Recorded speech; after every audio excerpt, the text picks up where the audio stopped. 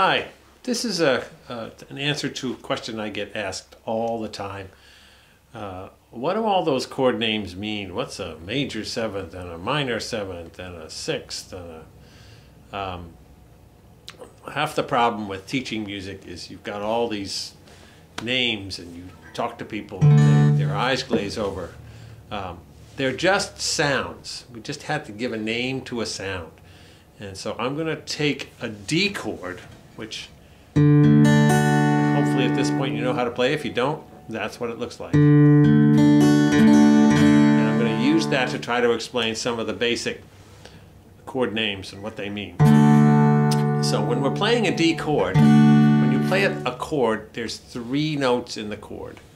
The D note, which is the chord that's built off that note, then three notes up the D scale, D, E, the third note is an F sharp. You don't have to know why, but that's what it is, and that's the F sharp right there.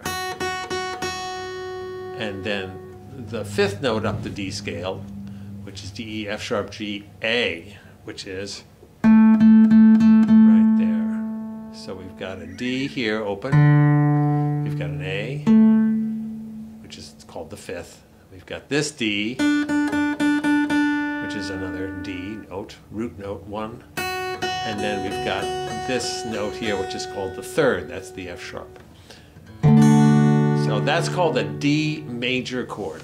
All you have to think about majors basically are happy.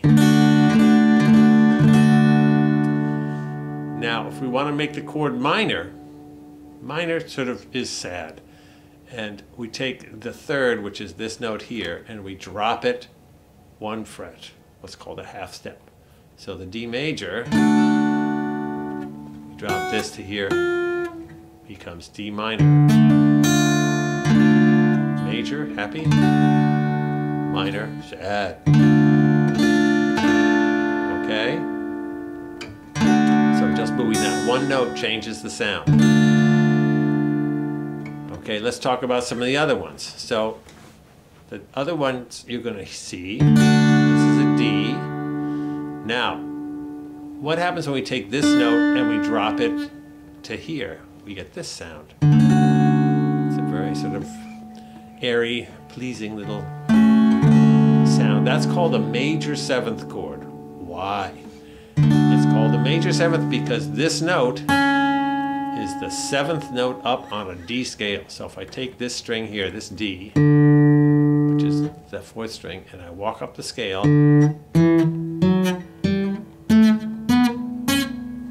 my seventh note. One, two, three, four, five, six, seven. And I put that in the chord instead of this D, and you get. Still got a D on the bottom here, so that it sounds like a D chord, but it has that sound to it. Now, if I drop this note one more time, so that was called a D major seventh. Now, if I drop this again, called a D7 or D dominant 7. I'm not going to go into explaining what that is, it'll just confuse you even more. But you can hear the difference. That's a little more bluesy sounding. This is more jazzy. The seventh is a little bluesier. And you've heard a lot of songs that go through this progression.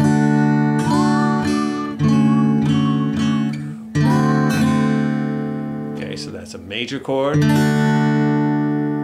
major seventh chord, all D's, D7. Okay, now we can take this and drop it again, and that's a sixth, a D6th chord. Why? Because that's the sixth note of the D scale. One, two, three, four, five, six. All right.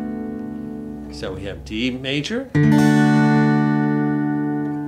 major seventh, D7, and D6th. Now we can do the same with the minors. Here's a D minor, and remember to get the minor, we just took the high note, I mean not the high note, the third of the chord, and dropped it a half step.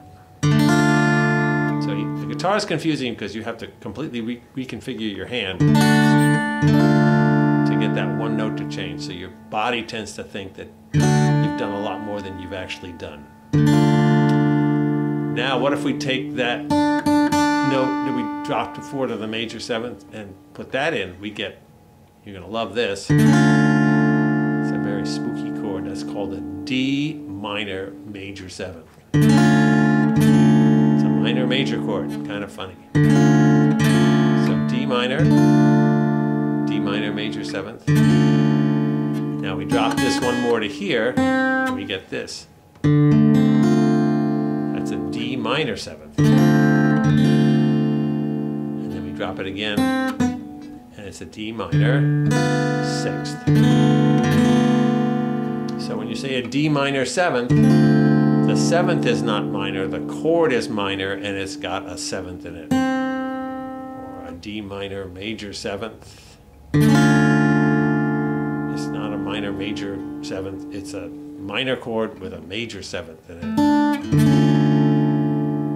You're probably totally confused by now, but again, here's a progression you've probably heard going from the minor.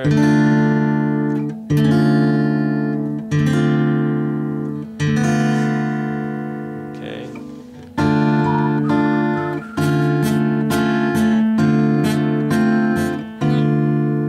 So minor, minor major seventh, minor seventh, minor sixth.